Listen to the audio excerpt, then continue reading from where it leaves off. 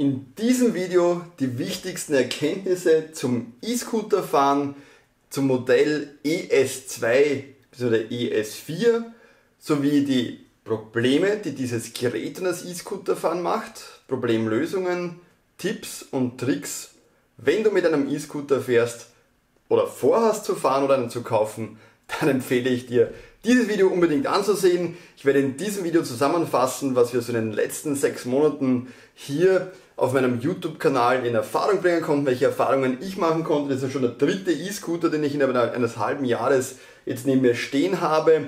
Aber vor allem, wie gesagt, auch die wertvollen Kommentare aus unserer Community möchte ich in diesem Video zusammenfassen, sodass wir hier gebündelt diesen wertvollen Austausch auch gegenseitig fortsetzen können, denn davon können wir alle massiv profitieren. Wie gesagt, vielleicht jetzt kein so ein extrem ähm, spektakuläres Video, aber ich denke, es zahlt sich aus, sich die Arbeit für uns alle zu machen, das mal zusammenzufassen. Ich werde versuchen, das jetzt möglichst kurz und bündig abzuhandeln, denn es gibt ja einzelne Videos jeweils zu den Etappen, äh, die ihr euch in der Playlist ansehen könnt, wo ihr auch die ganzen Kommentare drunter habt. In dem Video möchte ich jetzt versuchen, alles zusammenzufassen. Ich verlinke euch aber auch die gesamte Playliste. Bitte natürlich gerne, gerne durchschauen, bevor ihr das Video schaut oder auch nachher äh, unten in der Beschreibung, beziehungsweise am besten gleich hier. Da findet ihr die ganzen Videos und da findet ihr auch all die Kommentare, die so wertvoll sind äh, von den Zusehern aus unserer Community, äh, wo ich wirklich auch sehr, sehr viel lernen konnte, wo ein ganz, ganz wertvoller äh, Austausch stattfinden konnte. Vielen, vielen Dank an dieser Stelle und ich finde es toll, dass so viele Leute und eben wir alle davon profitieren können. Ja, und damit hallo und herzlich willkommen auf meinem Kanal rund um das Thema Mobilität, Führerschein und Zukunft. Mein Name ist Bernhard Hummel und jetzt ist auch dieses Mikrofon an. Ja, habe ich vorher gerade vergessen einzuschalten beim Intro. Ja, äh, versuchen wir das wirklich möglichst schnell durchzugehen. Vielleicht ganz kurz vorweg. Ich bin nach wie vor prinzipiell von der Art der Mobilität begeistert. Wo gibt es eine Möglichkeit, so kostengünstig zum Beispiel von mir zu Hause die 8 Kilometer in die Innenstadt zu fahren, keine Parkgebühren umweltfreundlich und jetzt wenn Leute sagen, ja, du brauchst aber Strom, ähm, ja, also wenn man vergleicht, äh, selbst ein Elektroauto, ja, wo das ja als umweltfreundlich äh, oft äh, gezählt wird, ähm, wenn man das vergleicht mit dem E-Scooter von Energieeffizienz, ich habe hier glaube ich das Ding hat 12 Kilo circa, äh, stimmt das, was ich sage? Ja, dann äh, kann man sagen, plus mein Körpergewicht, dass wir hier natürlich wesentlich effizient unterwegs sind als mit einem Auto vom Verbrauch her und von den Kosten genauso eine Fahrt hinein kostet vom Strom her ungefähr 3 Cent, wobei ich ja meistens dann noch äh, direkt in der Garderobe dort bei der Veranstaltung, wo ich hinfahre, auflade. Ja, ähm, gut, darum soll es aber nicht gehen. Es soll jetzt um unsere Erkenntnisse gehen, ähm, die mir dann teilweise das Ganze doch vermisst haben und die man auf jeden Fall hören sollte, vor allem weil es auch teilweise einfache Lösungen gibt, äh, die einem in der Situation, wenn man irgendwo steht und das Ding plötzlich nicht mehr geht, sehr helfen können, die auch mir sehr geholfen haben. Ähm, vorweg, vielleicht gehen wir das wirklich stufenweise durch. Ich habe das Ding im Oktober gekauft, habe dann das Ding zusammengebaut. Ihr wisst, man muss ja diesen, äh, muss das aufklappen, dann muss man diesen Kopf zusammenstecken, oben montieren. Habe ich ein Video dazu gemacht, könnt ihr euch anschauen, wie ich das am Anfang montiert habe. Ist aber weiter nicht so schwierig. Ähm, und den Zusatzakku drauf montiert und bin dann damit losgefahren und bereits am zweiten Tag gab es das bekannte Lichtbremseproblem. Das heißt, bereits am zweiten Tag bin ich wieder zum Mediamarkt und musste das Gerät umtauschen, wurde mir dann einfach gegen einen neuen umgetauscht, einen neuen, naja, da sind wir schon bei einem wichtigen Punkt, Version 1 und 2, die von dem Kleber abhängt, aber äh, mehr dazu gleich in weiterer Folge. Also ich habe dann einen neuen E-Scooter bekommen, den wieder zusammengebaut. Da beschreibe ich auch das Lichtbremsproblem genauer, das ich jetzt anspreche. Ähm, findet ihr hier eben das Video dazu. Und leider kam dann der Winter und dann bin ich nicht so viel gefahren. Dann äh, kam das früher und dann habe ich auch mal einen Test gemacht, äh, weil mir aufgefallen ist, dass die, also man muss sagen, jetzt vielleicht kurz zusammengefasst, ähm, ES2 versus ES4, da haben wir auch ein Video zu gedreht, ob man den Zusatzakku braucht oder nicht, was der bringt. Ähm, habe ich in Zürich mit einem Freund, da habe ich das Ding nach Zürich mitgenommen, das war so ziemlich eine der ersten Fahrten nach dem Winter. Ähm, und dann wieder verglichen, der Thomas Sparkoyote hat einen ohne Zusatzakku damals gehabt in Zürich und ich habe den von mir mitgenommen, wo der Zusatzakku seinerzeit montiert war. Warum der jetzt nicht drauf ist, keine Sorge, kommt gleich noch. Ähm, und haben das äh, verglichen. Könnt ihr euch das Video auch anschauen, ist auch in der Playlist. Also ihr findet das alles in der Playlist. Unten in der Beschreibung ist die einzelnen Videos, sind auch ganz nette Aufnahmen drin. Also gerne, wenn euch das interessiert, das Thema Zusatzakku auch genauer ansehen, wo wir das eben ähm, genauer erläutert haben. Ja? Ein Hauptgrund, der für den Zusatzakku spricht, ist vor allem die Reichweite. Ohne geben die 25 Kilometer an, mit 45 Kilometer. Ähm, ohne kommt man in Wahrheit wahrscheinlich circa 10 Kilometer, aber mit ist wirklich eine wirklich geile Reichweite äh, erreichbar. Also ich bin damit sicherlich schon um die 30 Kilometer gefahren, wobei man hat ja auch das Ladegerät mit und lädt dann meistens, wenn man irgendwo hinfährt, dann zwischendurch wieder auf. Aber wie gesagt, also mit Zusatzakku komme ich locker in die Stadt rein und auch wieder zurück. Ohne geht es ganz knapp nur in die Stadt aus. Das ist der Hauptgrund, der dafür spricht. Mit Zusatzakku auch deutlich bessere Beschleunigung. Ich komme die Steigungen mit Zusatzakku rauf, ohne komme ich die Steigungen nicht drauf. Ähm, und äh, ja, geschwindigkeitsmäßig kommt man auf 30 km/h mit, auf 25 circa ohne. Das ist vielleicht die Zusammenfassung auch der Erkenntnisse vom Zusatzakku. Wie gesagt, haben wir in einem eigenen Video getestet und ich werde auch in einem Teil 2 dieses Videos nochmal genau testen, äh, wie weit ich komme ohne Zusatzakku und warum das auch vor allem aufgrund der Gesetzesänderung, die ich heute empfangen habe vom Fachverband und die mit Juni äh, in Österreich gültig ist, ein, ein großes Fragezeichen ist, ob man diesen Zusatzakku tatsächlich montieren soll oder nicht, aber mehr dazu später. Wir sind jetzt der Reihe nach bei den Erkenntnissen.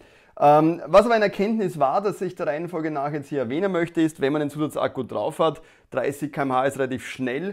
Und da werden sich vielleicht genau an dieser Stelle jetzt schon manche denken, naja, wie bremst das Ding eigentlich? Und meine Meinung nach ist, dass dieses Ding allgemein, ob mit oder ohne Zusatzakku, nicht besonders gut bremst und mit ist mal halt noch schneller, also wirkt sich natürlich noch mehr aus. Und Genau deshalb habe ich mich dann in weiterer Folge entschieden, wie gesagt, wir fassen jetzt einfach alles hier zusammen, damit ihr einen Überblick bekommt, ähm, Bremstests mit dem Video zu machen, um euch zu zeigen, wie, bitte beurteilt selber, gut oder schlecht dieses Ding bremst. Da bin ich auf einem Trainingsgelände gefahren und habe aus verschiedenen Geschwindigkeiten nur mit der Vorderbremse und mit beiden Bremsen gebremst. Und ja, könnt ihr euch hier anschauen, habe ich schon vor einigen Wochen gedreht, ging aber jetzt erst vor kurzem online, weil so viele andere aktuelle Videos waren.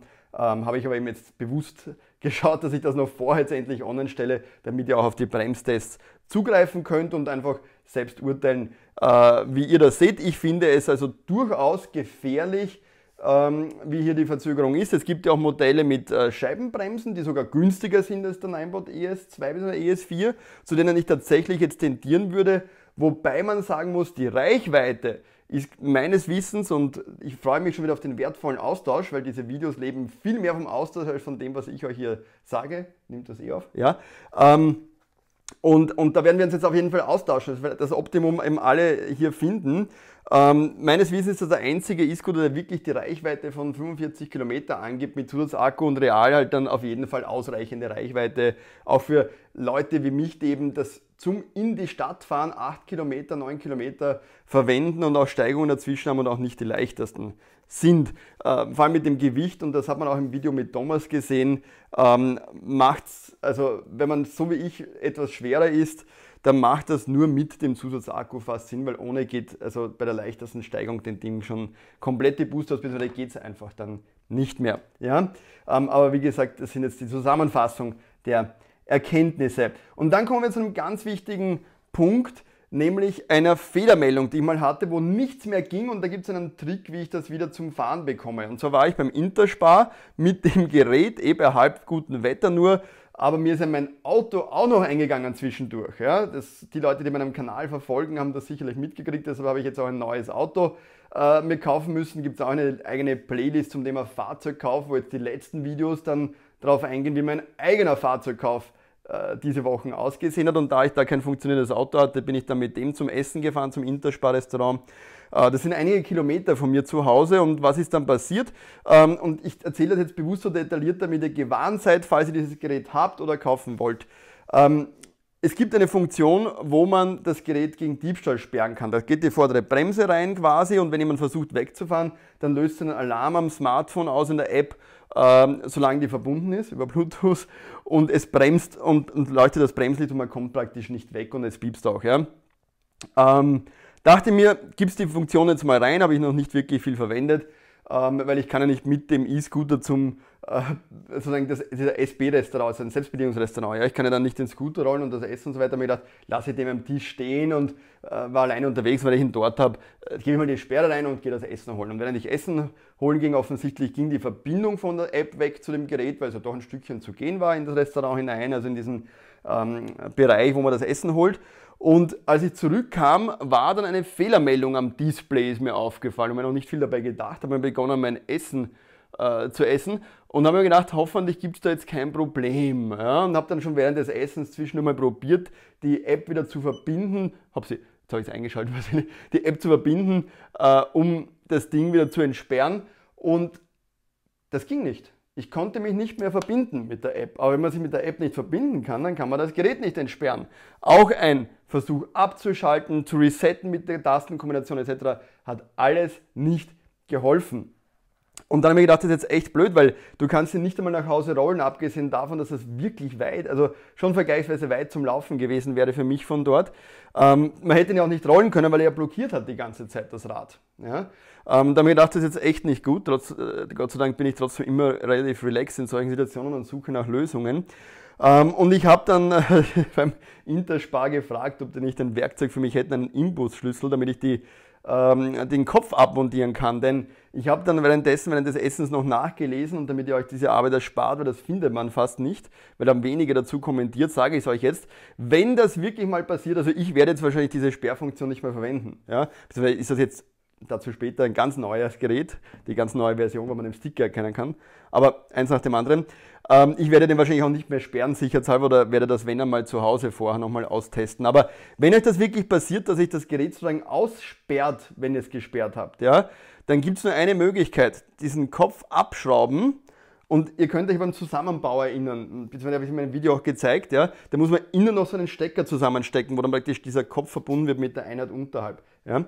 Und äh, den muss man einmal auseinandernehmen, wieder zusammenstecken, wieder zusammenbauen und dann, äh, dann funktioniert es wieder. Ja, und das hat mir natürlich viel Arbeit erspart, weil das Ding wirklich mehrere Kilometer nach Hause tragen äh, wäre bei dem Gewicht dann also schon äh, mühsam geworden. Also ganz wichtiger Tipp, falls ihr euch mal aussperrt, ähm, kann man das nur durch diese Variante lösen, aber halt irgendwo betteln und einen Imbusschlüssel versuchen zu ergattern, dann kann man das, äh, einen passenden, dann kann man reparieren.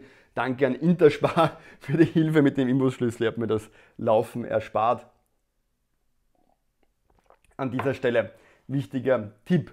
Gut, und vor allem den Scooter, den schweren tragen, wäre auch nochmal mühsam gewesen. Und dann ähm, bin ich jetzt vor einigen Wochen, auch aufgrund der Tatsache, dass mein Fahrzeug, mein Auto ja kaputt war, wieder mit dem E-Scooter in die Stadt gefahren. Ähm, Wetter ist leider nicht so prickelnd in Österreich dieses Frühjahr. Ähm, außer Zwischendorf, was einmal war. Äh, und da hatte ich wieder dieses Lichtbremsproblem. Ja, also ähm, ich bin am Abend, dann hätte ich nach Heim fahren müssen und, und im Dunkeln und nach ein paar Kilometern, wo das Gerät warm geworden ist, meistens wenn es ein bisschen wärmer wird, das Gerät, wenn man ein Stückchen gefahren ist und das Licht eingeschaltet hat, weil es dunkel ist, dann kommt das Problem, man gibt Gas und die Bremse löst, obwohl der Hebel nicht klemmt oder so, ja, und die Bremse löst wieder äh, löst die ganze Zeit sozusagen, also die Bremse ist die ganze Zeit, äh, wie sagt man, äh, also wirkt die ganze Zeit. Ja? Und, und du kannst nicht fahren, weil es die ganze Zeit drückt, bremst und auch gefährlich dass plötzlich reinbremst während der Fahrt, obwohl man die Bremse nicht drückt. Ähm, das bekannte Lichtbremsproblem, das ich eben in einem eigenen Video äh, schon zusammengefasst habe. Ihr, ihr, findet das in der Playlist und da haben wir uns auch darunter ja schon rege äh, darüber ausgetauscht, über dieses bekannte Problem. Und ich habe dann eigentlich schon wirklich die Nase voll gehabt und da haben auch schon einige Kommentare, aber ich gehe gleich auf die in weiterer Folge auch ein aus unserer Community, die ganz, ganz wichtig sind, bitte. Und deshalb erwähne ich die nochmal, damit sozusagen möglichst viele von uns auch diese Kommentare äh, dann sehen können, äh, haben wir schon viele Erkenntnisse gehabt und ich habe dann eigentlich die Lust an diesem Modell verloren, sage ich ganz ehrlich, am ES2 äh, der ES4 mit dem Zusatzakku, weil äh, ich einfach empfunden habe, dass einerseits die Bremse nicht wirklich so gut geht und dann die ganzen Probleme waren und dann war auch schon das relativ klapprig unten beim Gabelkopflager und äh, man hat einfach gemerkt, das Ding löst sich also schon so ein bisschen auf, obwohl ich eigentlich gar nicht so viel gefahren bin und das hat mich nicht sehr glücklich gemacht.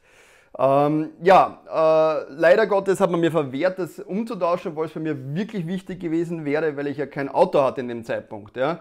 Also für mich war das wirklich ein wichtiges Fortbewegungsmittel, ähm, weil mir genau äh, das Auto auch noch eingegangen ist. Und man hat dann gesagt, trotz alledem, also nicht kundenorientiert und so weiter, aber gut muss man verstehen, Sie können nach einem halben Jahr das Gerät nicht umtauschen im Rahmen der Garantie, sondern es wird, wenn dann, eingeschickt und repariert gut, aber zumindest Garantie. Ähm, aber das würde ein bis zwei Wochen dauern. Und das heißt natürlich für mich, und man muss jetzt auch sagen, das Gerät ist ja nicht gerade billig, wenn man ehrlich ist. Ja? Also billig ist es nicht. Ja? Ähm, ich meine, es hat in Summe ja doch gekostet 599 Euro das Gerät, plus der Zusatzakku hat er dann nochmal gekostet.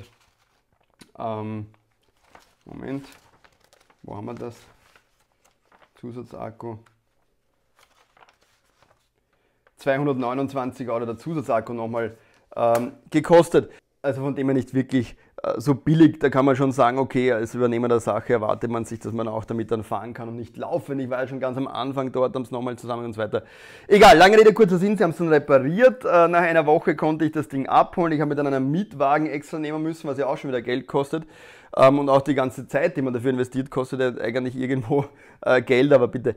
Ähm, jedenfalls äh, habe ich das Ding dann abgeholt mit dem Mietwagen, bin mit dem Mietwagen dann zum Westbahnhof, wo ich das Sixt-Auto wieder zurückgegeben habe.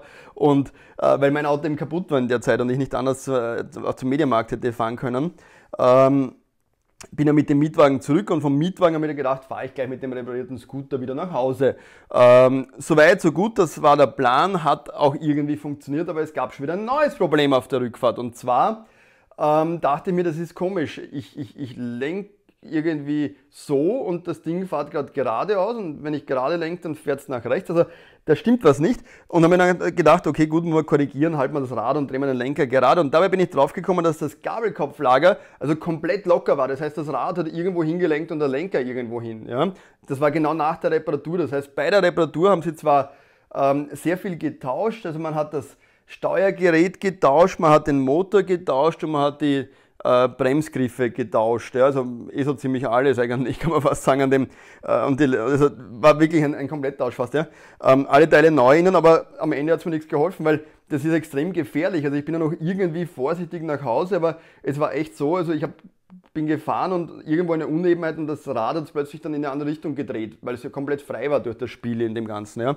Also absolut ärgerlich und dann ähm, habe ich äh, mir ein Auto wieder ausbauen können. Äh, einige Tage später bin dann also wieder hin und habe gesagt, das kann es jetzt echt nicht sein. Äh, und dann haben sie mir gesagt, gut, wir tauschen aus. Ich hätte eigentlich ganz gern, wenn, wenn ich ganz ehrlich bin, hätte ich auch schon ganz gern das Geld einfach für das Gerät zurückgehabt, weil ich äh, habe das auch da reingeschrieben in den Kommentaren eben, ich kann ihn nicht unbedingt mehr empfehlen und dann waren auch Erkenntnisse eben aus unserer Community, wo man gesagt hat, also das Ding auf keinen Fall wieder und, und, und sehr gefährlich zu verwenden. Ähm, Lange Rede, kurzer Sinn, man hat mir das nicht das Geld zurückgegeben, aber ihm angeboten, diesen ES2 wieder zu bekommen, also auszutauschen nun. Und jetzt kommt diese ganz wichtige Erkenntnis vom, und ich suche den Kommentar jetzt auch raus, vom Paul, ja, ähm, der eben gesagt hat, es hängt davon ab, welcher Sticker da oben ist auf der Verpackung. Und ich hatte immer den gelben Sticker und der gelbe Sticker war die erste Serie.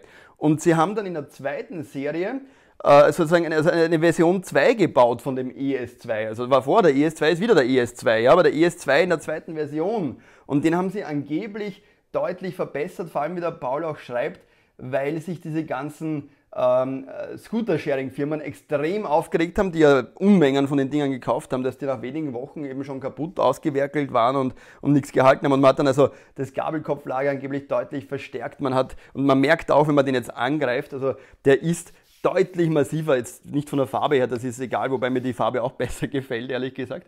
Passt auch besser zu meiner GoPro. Aber äh, man spürt wirklich von der Materialanmutung, also ich, vielleicht bilde ich mir das auch ein, aber nein, ich bilde mir das nicht ein. Also vom Gelenk und von allem her, das ist deutlich hochwertiger und massiver geworden jetzt. Das muss ich also ganz klar sagen. Und äh, ganz wichtiger Tipp eben für alle, wenn ihr ihn kauft, schaut, äh, wie der Pauli richtig schreibt, äh, offensichtlich, ähm, dass der grüne Sticker drauf ist, wenn das so stimmt. Aber ich muss sagen, das dürfte also tatsächlich was haben. Die alte Version wurde circa bis Mai 2018 gebaut, schreibt er da. Also ich dürfte da einfach das Pech gehabt haben, dass noch sehr viele von der alten Serien im Umlauf sind. Die müssen ja auch erstmal nach Europa geschippt werden, die Dinger. Und äh, ja, also das ist eine sehr interessante Erkenntnis auch, die ich unbedingt zusammengefasst hier weitergeben möchte. Und bitte auch dazu austauschen unten in den Kommentaren, damit wir hier gegenseitig davon profitieren können.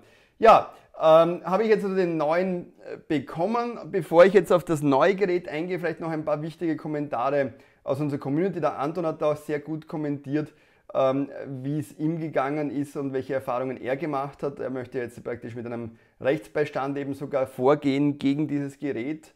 Ähm, lest euch das durch, ich blende euch das auch ein bisschen ein, ihr findet das alles unter den Videos auch, aber hier vielleicht ein bisschen einfacher. Ähm, denn äh, es ist also so, dass bei ihm extremste Unfallgefahr war. Ich nehme an, vielleicht Anton kannst du uns das auch nochmal drunter schreiben unter das Video. Es geht aber eben auch bei ihm um die Version 1 mit dem gelben Sticker. Ähm, und zwar war es so, dass bei ihm hinten dieses, ah, kann ich euch das jetzt zeigen, wenn man hinten bremst, ja, bei der Bremse hinten, dieses Teil offensichtlich, sorry, ich weiß, das ist eine peinliche Nummer, ja, ähm, aber das Ding ist jetzt so ein bisschen dreckig und schwer, weil ich heute damit gefahren bin.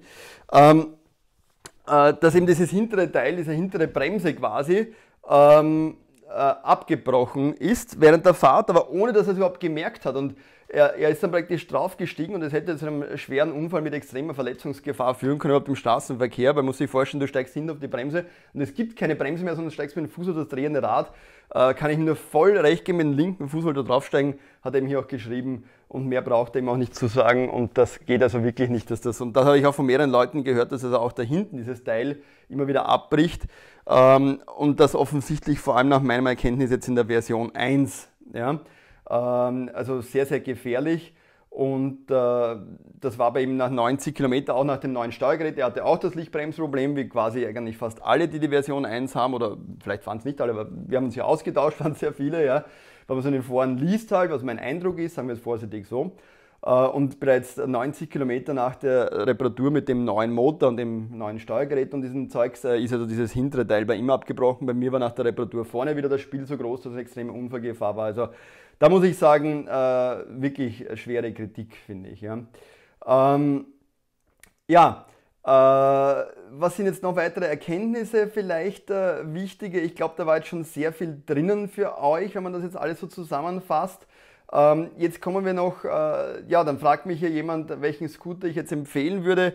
Ähm, tue ich mir jetzt sehr schwer. Was, was würdet ihr jetzt empfehlen? Ich meine, ich habe jetzt den wieder bekommen, ich hätte ganz gerne das Geld zurückgehabt und neu gewählt, aber wie gesagt, jetzt mit dem grünen Sticker und mit dieser Erkenntnis, vielleicht haben wir jetzt hier mehr Glück.